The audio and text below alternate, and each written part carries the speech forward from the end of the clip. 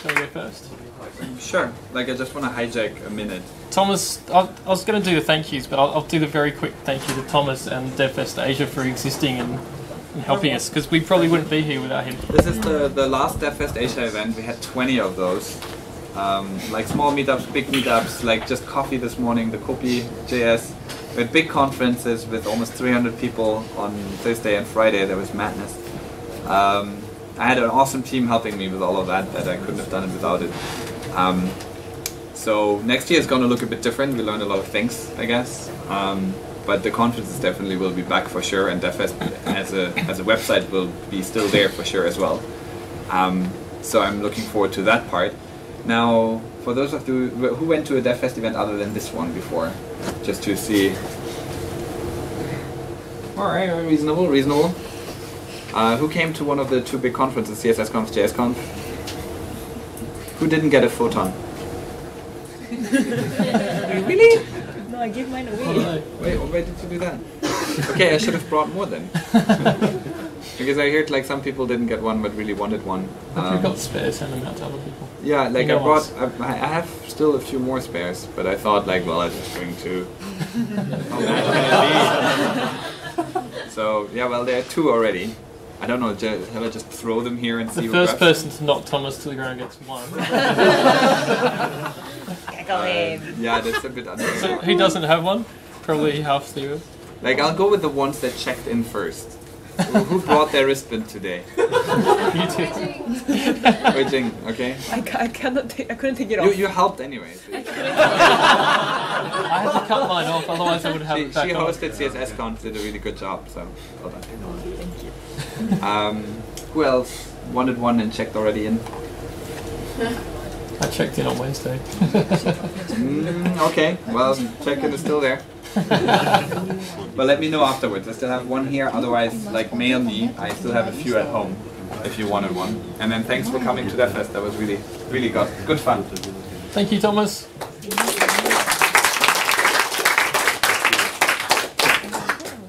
Now, this is our first Talk CSS. The plan is to have one approximately once per month.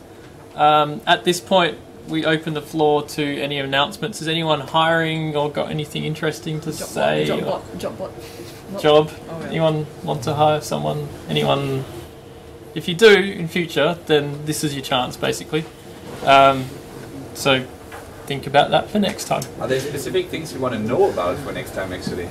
Because I was thinking of doing a talk next time, Ooh, Yes, and yes, I yes, would yes, love to know what about. I'll get to that because I was going to get to that. I've already got two speakers lined up for our next one. Um, we'll be, we will be back in January. We're going to take a break for next month. Um, so you won't hear anything from us for a little while. Um, next year we've got some pretty awesome speakers lined up already, which is, I mean, Talk CSS has been around for about three weeks now, four Yep. weeks if that.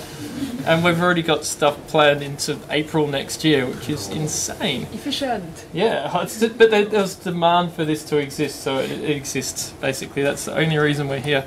So Um.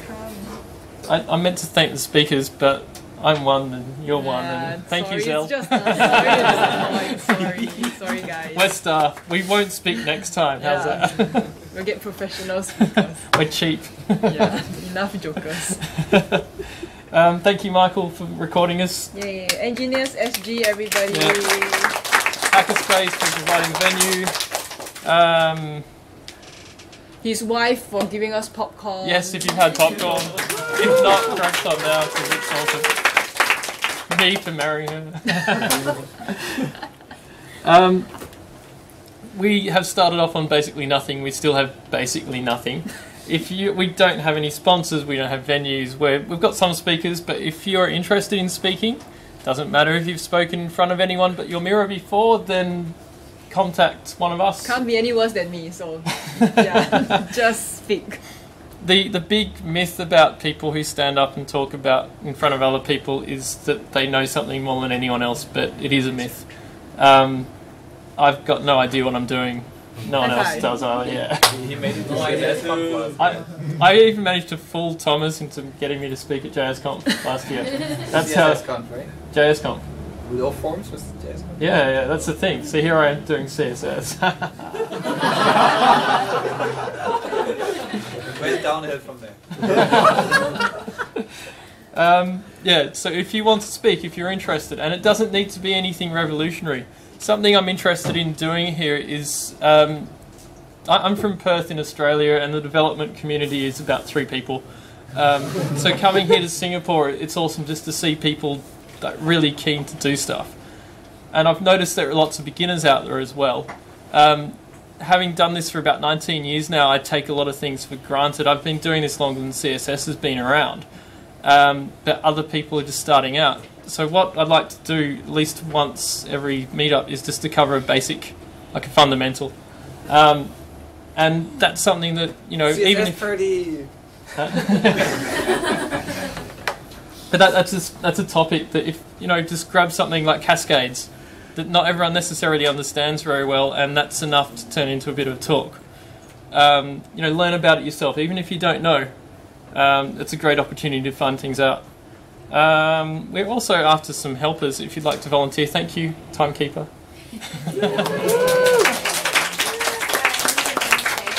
Our, our basic leaving the country after this. That's how. It, Never coming back. No. that's a bad role. Don't do timekeeping. Um, sponsors would be awesome. If your company has some space and you'd like to host about this number of people, we'd love to hear from you. Um, otherwise, you know, we can give you a couple of minutes to put your logo on this screen if you get us some popcorn next time. Um, anything along those lines, please get in touch as well.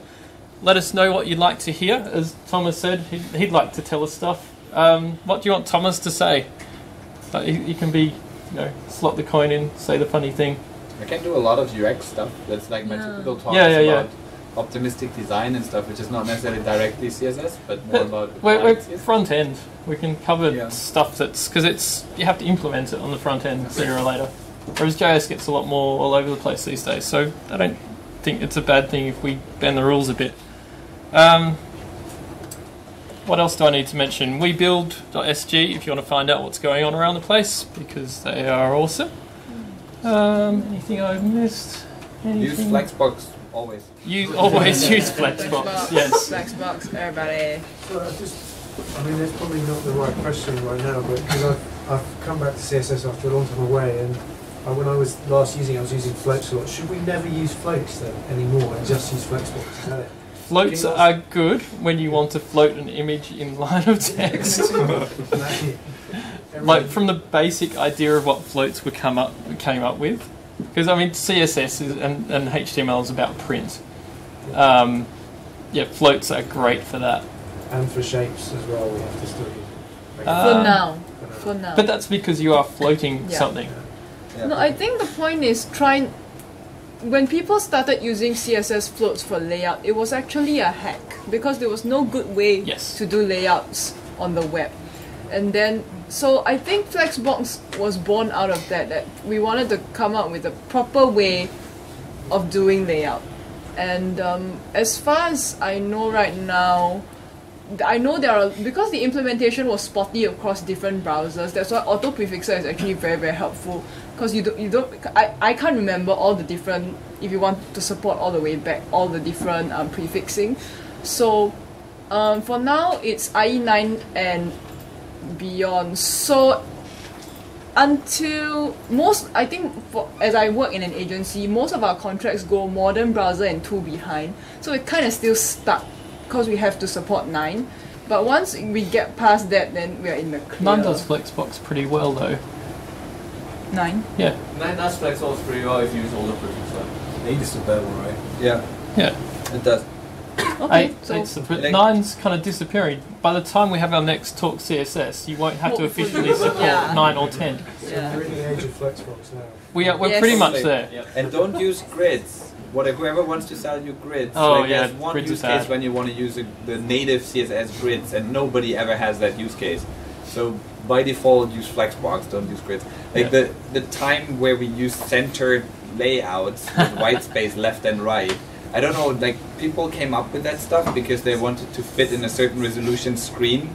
And then the screens got bigger and there was white space. And for some reason, it's still the default style on how Hmm. every other website works is this centered column in the middle of the, the site. No one knows how to go And- wide. They don't know what to do. Yeah, and with. Flexbox you can use the entire screen like and put your content. It's really easy to make it responsive because it's by default, kind of.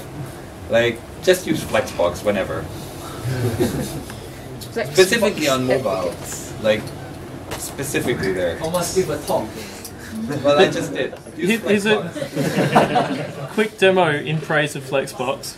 Because if I full screen this, and this is work in progress, so it's going to break at some point or other. Um, it the top bit breaks as you saw before because it's the same template. So we can go down pretty small, and this is this is all entirely Flexbox. All of this, and I'm I'm new to Flexbox as of about three weeks ago. Um, I mean, I've been doing this forever, but you know, I, I work for an insurance company. Our clients are so conservative; they're the last ones to let go of IE7, so we have to hang on to stuff until they're officially not around anymore. So this is fine. You start getting a bit wider. Again, Flexbox. Look at that. Goes from you know straight out list into. Suddenly we've got a grid. It's getting a bit more human as we're getting bigger. Oh yeah, for Flexbox, the only thing you need to think of is that you can't use the bottom padding bottom or padding top tag. Yeah, and the only thing that I, my way of getting around that is to um, actually put the padding inside things. If I can grab a container.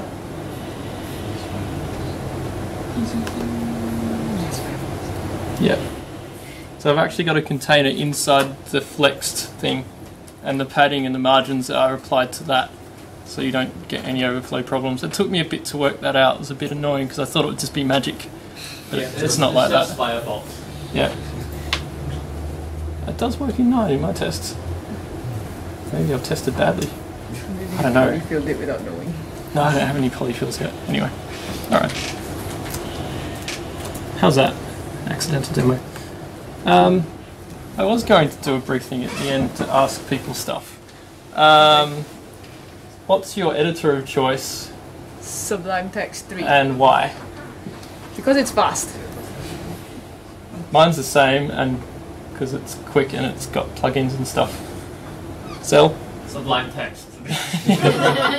Winner! Vim, man, We. come on, Vim. You're, you're the one man using the Windows box. Guru uses Vim, people. man. The Vim. guru uses Vim. Uh, Sorry. Yeah. Alright, okay. Thank you everyone for turning up as Uh, well. like uh, non-programming background, so we can't use Vim. Yay! Command lines. But again, thank you everybody for showing up. Didn't expect so many of you to turn up, so I'm really, really appreciative that you're, you know, showed up to listen. So we weren't talking to mosquitoes. Yeah. Thank you everybody. Thank you. We want to do a little CSS doctor session if anybody has a question on his mind. Oh yes, you can ask us and we don't know, so we can just sit there and say we don't know either. We can discuss it. Google is your friend.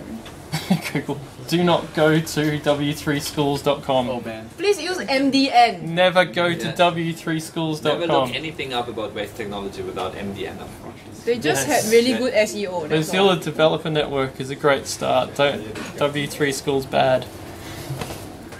No one's been able to work out why the SEO is so good. So you should investigate that. I, I've looked How do you get and the first hit every time? They must know like Larry Ellison. No, no, who's the Google guy? Wrong one. Listen, it's all that, that uh, Very page. Larry Page. Oracle, Oracle is Yeah. Larry Ellison, right? Yeah. That's Sergey. Thank you, everyone. We can mill around and eat popcorn and I haven't had any.